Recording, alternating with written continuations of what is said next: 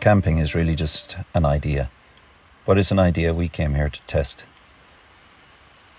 It's 2021, it's July 2021. Probably more people camping this year than at any time in the history of the state. And where will we all go? Well, that's where network camping as an idea may come in. Maybe it's an Irish thing to some degree. So many of us have left this island. There are those of us born to a travel addiction, the endless draw of a far horizon, foreign shores, or new places. But not so much in 2021.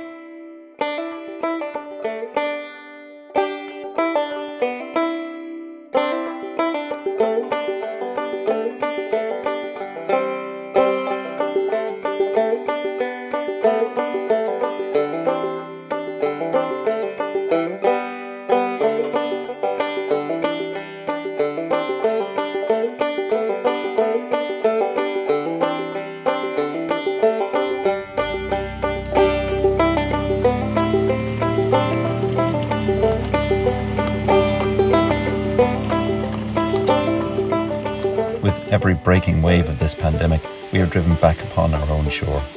Maybe it's not a bad thing, maybe it doesn't matter how far you go, but instead, how close you look.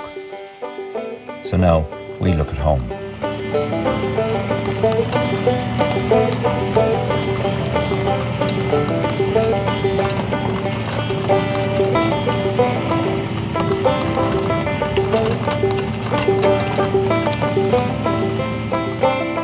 Can leave no trace, if you can make it your mark that you leave no mark, then you are no burden. In this case, it is no burden to ask among your friends if they may have a place where you can camp, and so I did. Network camping is about working through your own network of friends to find your own hidden gems rather than following others to theirs, where gathering crowds draw more crowds until the respect of the original few is obliterated by the disrespect of the small minded litter parties that ultimately bring the no camping signs up. In the internet age, I guess this is more of a concern than it was before. I realise network camping is of little use to those who just arrive in any place, but everyone is from somewhere, and it applies wherever it is that we are from. Anyway, this is Ireland, and people make friends quickly.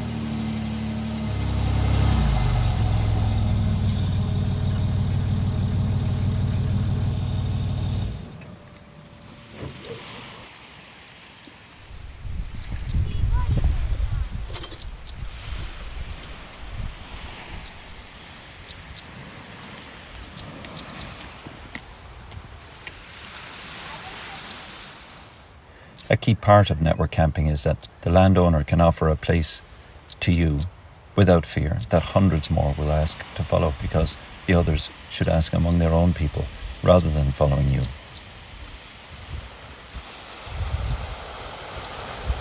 One thing is for certain more fields or clearings along our shores and wild places are empty than the few sites that are full this summer, even in 2021.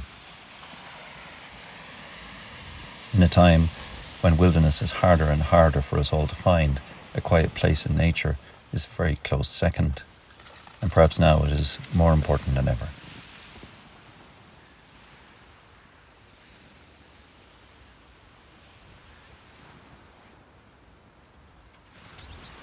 So far, the answer I have got is most often yes, but not always.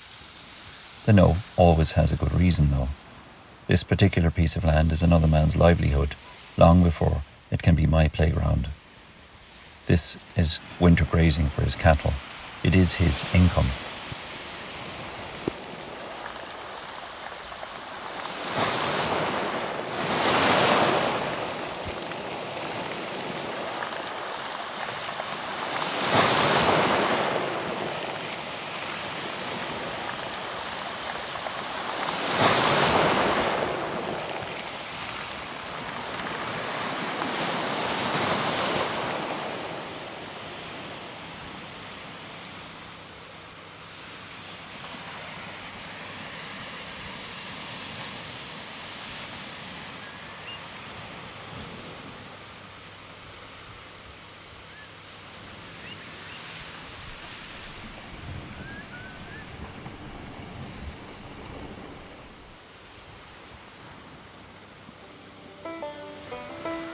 This land may at other times need to have machines work upon it. Sometimes there are cattle on it. Sometimes risk of fire is high. Insurance or litigation, of course, is in there too. And there are, of course, many reasons why you or I may ask and may be denied. But on this occasion, my network camping test worked. The owner knows my family, and my presence here is built on trust earned by them, and now by me, because I have left no trace beyond my tracks, which lie in line with the owners.